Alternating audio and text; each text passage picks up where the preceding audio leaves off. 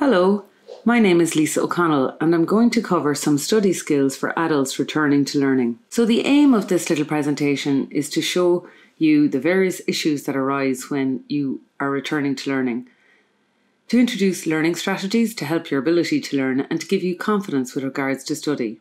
I hope after this you will reflect on the challenges associated with returning to learning and that your awareness will be raised concerning the unique nature of adult learning that you will get an opportunity to reflect on the key aspects of effective learning and that you'll develop a method of reading, writing, and using time for learning that suits you.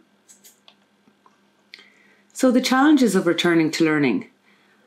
As a trainer, I often see that learners, particularly older learners returning to learning, may feel a lack of confidence, especially if they've spent some time out of education they might have feelings of not belonging, of being out of place, or being alone.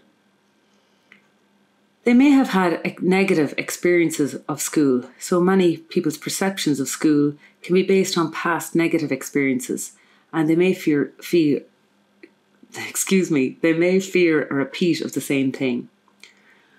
Other commitments, many adult learners fear that they may not have time with the other commitments in their lives, such as families and sports, etc.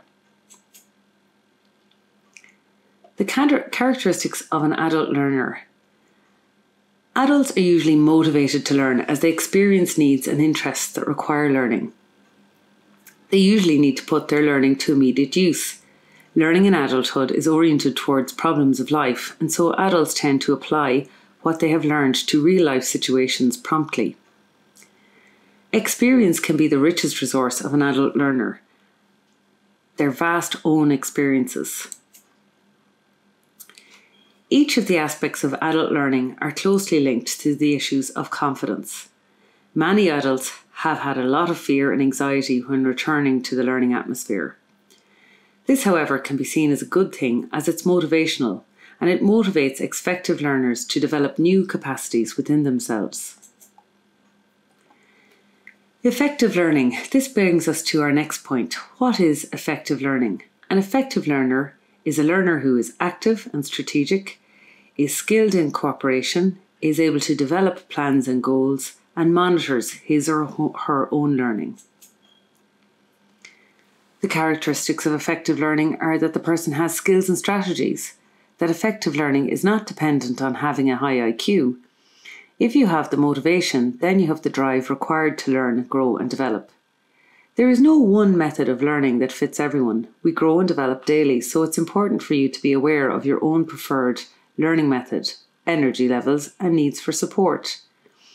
Learning demands a certain level of openness. You'll be required to enter into a process of looking at your own ways of thinking, looking at the world, and even doing your job. You will need to consider whether there is a new way to do or look at things. Having and being there are two different modes most students or learners will be in.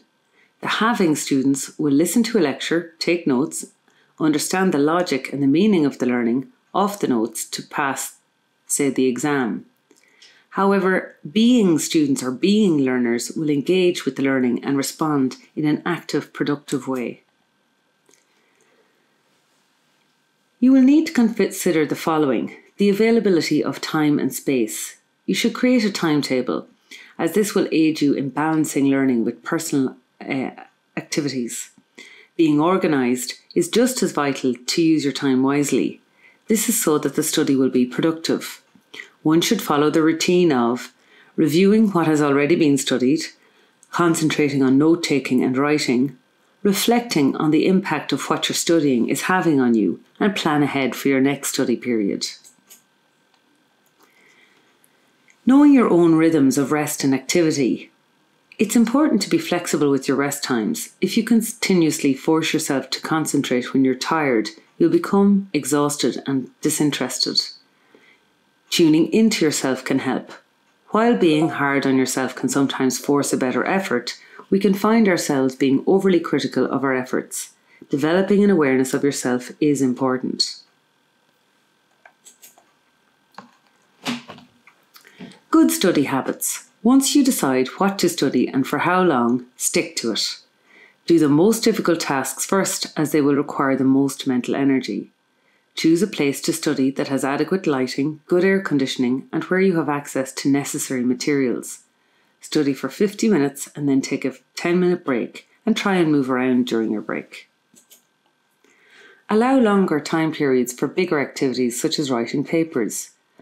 Use shorter time periods for smaller activities such as self testing. If you get tired or bored, switch topic, environment, or subject. Stop studying when you are no longer making progress. Practice rote memory tasks just before you fall asleep to solidify details. Study with a friend can be useful. You can practice quizzes and compare notes. This may point out areas where you are strong or struggling. These are some common study traps that people experience. I don't know where to begin. So just make a list of things you have to do, break the list down to smaller chunks, and schedule time and prioritise. I've got so much to study and so little time. Review the syllabus or the learning outcomes and pick out the most important topics. Emphasise the main topics. This material is boring. I can barely stay awake reading it. Actively involve yourself with the material. Take notes, discuss the topic with others in your class, and ask yourself questions about it. I have read and understood the material, but it just won't sink in. In this case, try to elaborate on what you're learning. Link it to what you already know, as it will help with remembering it in the future. There's just too much to remember. Organise your notes. Writing summaries of chapters can help with establishing and remembering relationships between sections. I knew it yesterday. Review the material and test yourself constantly. If you struggle with certain sections, focus on them. I need to stay up all night to learn this. Really do avoid mental exhaustion. Give yourself adequate breaks, and if you're making no progress, end your study for the day and relax. So, learning skills involve note taking, writing and communication, and reading. I know myself that the only way I learn as an individual is note taking and then summarising and rewriting the notes.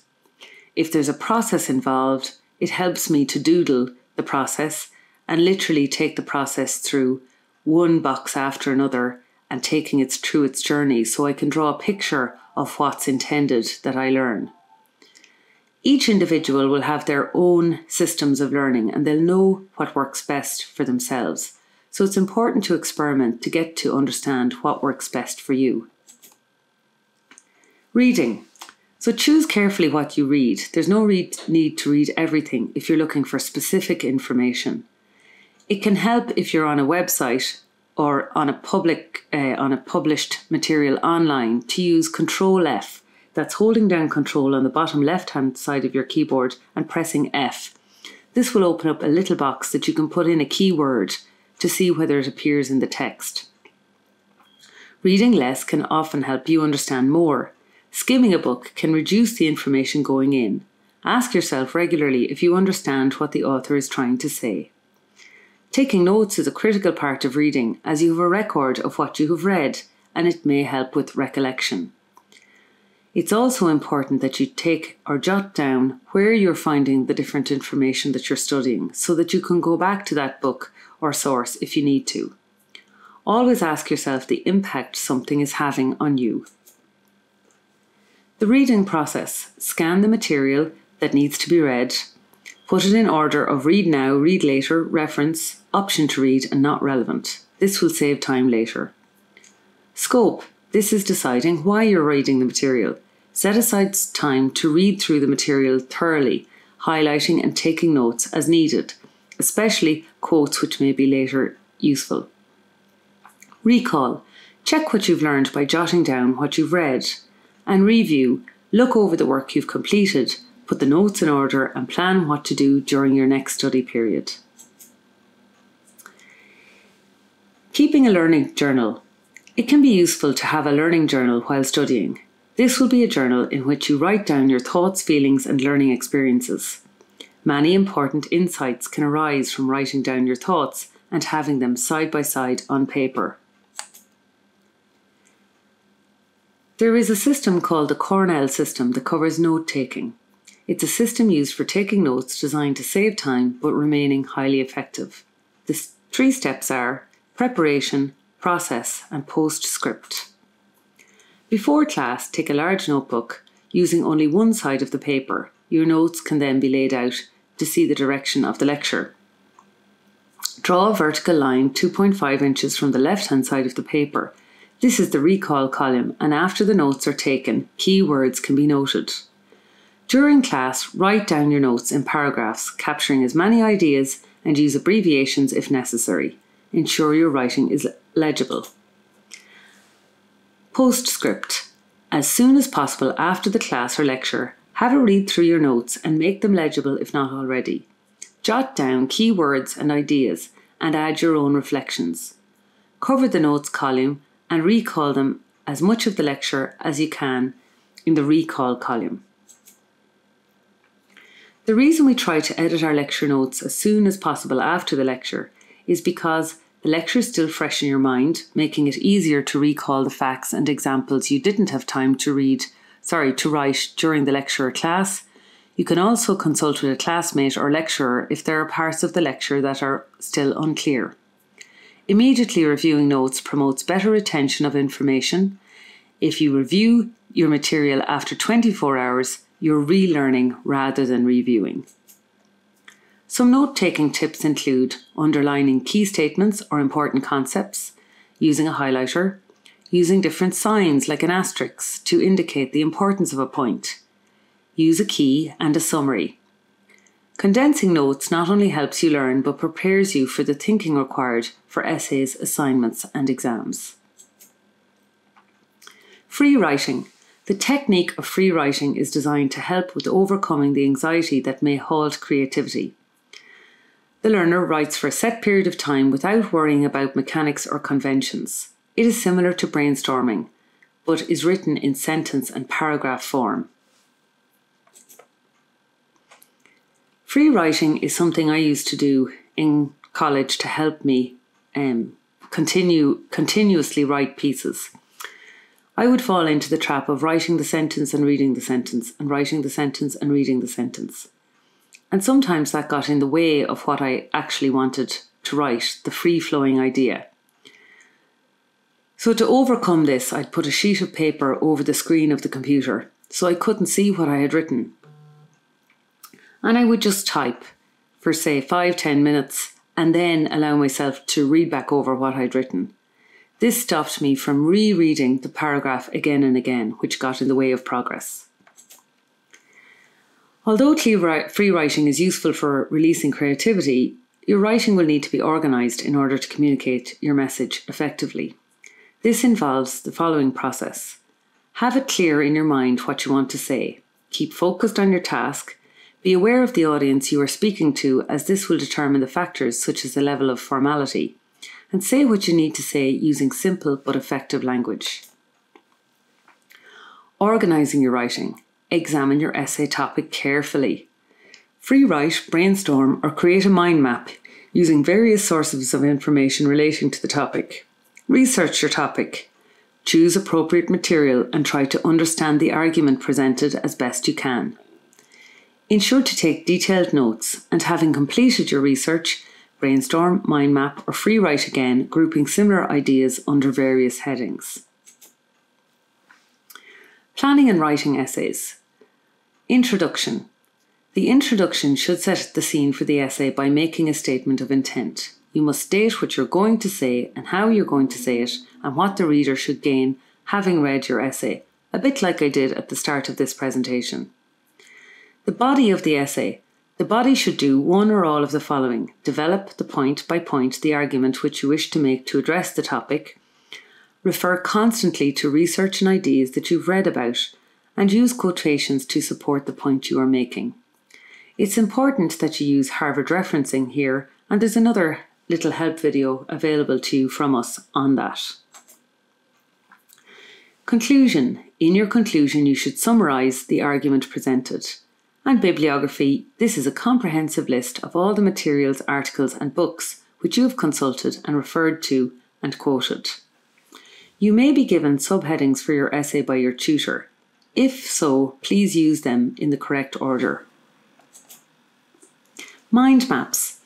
Mind maps use association, and association plays a vital role in almost every mental function. Every single word and ideas has numerous links attaching it to other words and ideas. Mind maps are an effective method of note taking developed by Tony Buzan.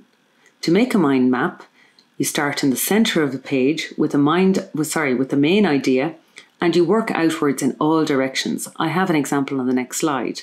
Producing an organized structure composed of keywords and images. Its key features are organization, association, visual memory, keywords, clustering, and outstandingness. So here is an example of a mind map where you take the key concept and put it in the middle of the page, and then you take the ideas, and those ideas might have sub ideas again. So, these slides have set out some learning strategies that will help you on your learning and study journey. However, these skills will only be developed through practice. Refer back to these slides, especially in times where you're experiencing difficulty. Believe in yourself and best of luck on your journey.